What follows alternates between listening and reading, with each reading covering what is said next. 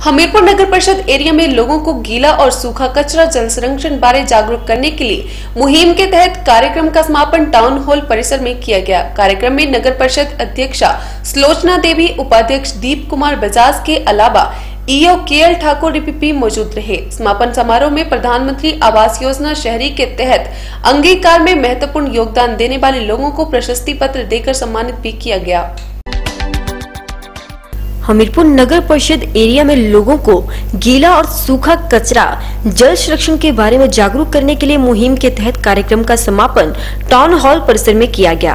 कार्यक्रम में नगर परिषद अध्यक्ष सुलोचना देवी, उपाध्यक्ष दीप कुमार बजाज के अलावा ईओ के एल ठाकुर भी मौजूद रहे। समापन समारोह में प्रधानमंत्री आवास योजना शहरी के तहत अंगीकार में महत्वपूर्ण योगदान देने वाले लोगों को प्रशासित पत्र देकर सम्मानित किया गया। आपको बता दें कि अंगीकार अभियान शहर में 2019 से शुरू हुआ था और आज इसका समापन हमीरपुर टाउन हॉल में किया गया। अभियान के तहत शहर में सफ़ाई व्यवस्था दुरुस्त बनाने के साथ साथ गीला और सूखा कचरा के बारे में जागरूकता लाने के साथ साथ जल संरक्षण के लिए भी अभियान के तहत लोगों को जागरूक किया गया है। बारे में आप लोगों को जागरूक करना और एक थीम आज हम एक और इवेंट इसी इवेंट के दौरान कर रहे हैं। यहाँ उपस्थित सभी जनता उनको सम्मानित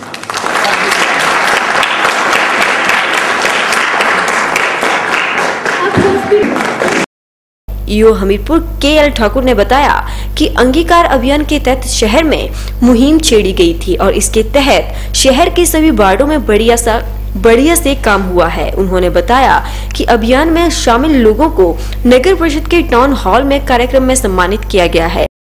ये अंगीकार अभियान का समापन समारोह था। ये 2 अक्टूबर 2019 से शुरू किया गया था और आज 10 दिसंबर 2019 को इसका समापन समारोह किया गया। इस अभियान का मुख्य उद्देश्य लोगों के सामाजिक व्यवहार में परिवर्तन लाना था और विभिन्न इसके और विभिन्न उद्देश्य थे। लोगों को जल संरक्षण लाइट्स व गीला व सूखा कचरा आदि के बारे में जागरूक करना था कि वो गीले कूड़े को अलग रखें, सूखे को अलग रखें, दो प्रकार के डस्टबिन प्रयोग करें, हरा व नीला। तो इस अभियान में आज हमारे स्वच्छता कमेटी के पदाधिकारी समापन समारोह में सम्मानित किए गए। इसके अतिरिक्त विभिन्न संस्थाओं, अस्पताल व मोहल्ले जो अच्छे सफ़ाई में अच्छे आए हैं, उन सभी के वहाँ गणमान्य व्यक्तियों को यहाँ सम्मानित किया गया। तो अब हमारी लोगों से अपील है कि अपने अपने वार्डों में जिस तरह सफ़ाई मेंटेन है, उसी को बनाए रखें तथा गीला व सूखा कचरा के लिए अलग अलग कूड़ादान रखें। धन्यवाद। सम्मानित करने वाले लोगों ने बताया कि नगर परिषद ने सफ़ाई अभियान के तहत बढ़िया काम करने पर सम्मानित किया है। उन्होंने बताया कि सफ़ाई के लिए वार्ड में बढ़िया वातावरण बनाने के लिए प्रयास इसी तरह से जारी रहेंगे। नगर परिषद ने सफ़ाई संबंधी अवार्ड दिया है। हमारे को हॉस्पिटल्स जितने उनमें से फ़र्स्ट प्राइज दिया है इन्होंने सफ़ाई के लिए। क्योंकि इन्होंने कुछ समय पहले अभी डोर टू डोर वो शुरू किया था तो हमने मतलब काफ़ी कुछ कोशिश की कि भाई हम हॉस्पिटल के आसपास सफ़ाई रखें हॉस्पिटल के अंदर भी और बाहर भी। आगे क्या रहेगा सर? आगे हमारा बिल्कुल प्रयास जारी रहेगा। कोशिश करते रहेंगे, जितना अच्छा स्वच्छ वातावरण हमारे को मिलेगा पेशेंट्स को मिलेगा तो मरीज़ जो है जल्दी स्वस्थ होंगे।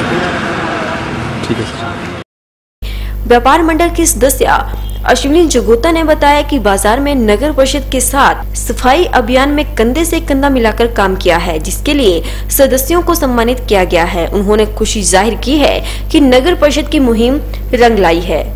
आज टाउन हॉल में एक फ़ंक्शन हुआ, जिसमें अपर बाज़ार गांधी चौक के मंडलों को सम्मानित किया गया, स्वच्छता के लिए। और वैसे भी जो ये मोहल्ला है हमारा गांधी चौक, ये स्वच्छता के प्रति बहुत जागरूक रहता है, क्योंकि लोग यहाँ चहल कदमी के लिए आते हैं। और शाम के टाइम जैसे आप देखते हो, काफ़ी रश होता है, लोग घूमने आते हैं और परचेजिंग के लिए आते हैं। तो वैसे भी हमारा इस मोहल्ले में बहुत सफ़ाई का ध्यान रखा जाता है, और आज मुझे इसके लिए सम्मानित किया गया है। तो मैं इन सबका बहुत आभारी हूँ और हमारा वैसे भी हम सब लोग इसके लिए बहुत अवेयर रहते हैं कि सफ़ाई का पूरा प्रॉपर ध्यान रखा जाए। हर दुकान में डस्टबिन लगाया गया है, कोई वैसे कूड़ा करकट इधर उधर ना फेंके, इस चीज़ का ध्यान रखा जाता है हमेशा। खाली जो गांधी चौक के ऊपर का हमारा मोहल्ला था, उसका सर्वेक्षण किया गया था तो उसको स्वच्छता में उत्तम पाया गया है तो इसीलिए उसको इसका प्राइज़ मिला है।